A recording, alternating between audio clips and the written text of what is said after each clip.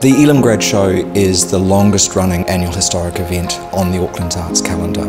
The exhibitions that you'll see in the Grad Show cover things that might end up in a dealer gallery situation, in a commercial situation, but also those which might be more geared towards public spaces or artists run spaces. So there's installation, film, sculpture, painting, possibly a performance, so the works complement or work with each other. They don't show everything that they do, it's really about understanding what it means to develop an exhibition practice as a result of their study in fine arts. Well, the grad show is a culmination of the undergraduate and postgraduate students. At the end of every year, we have a chance to exhibit work and for the world and everyone else to see it and to share it with other people.